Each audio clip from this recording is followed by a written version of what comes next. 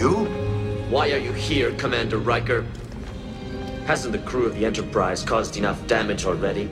You gave me a sense of individuality, changed me, then sent me back to the collective. You must have known that change would be passed on to others. You? I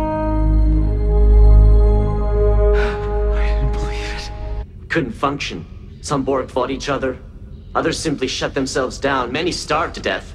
This is the result of my encounter with the Enterprise, Commander. So you can see I don't particularly welcome your presence here. Welcome.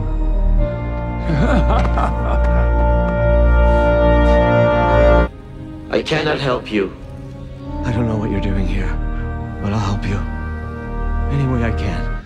What made you change your mind, Hugh? Perhaps in time, we will learn to function as individuals and work together as a group.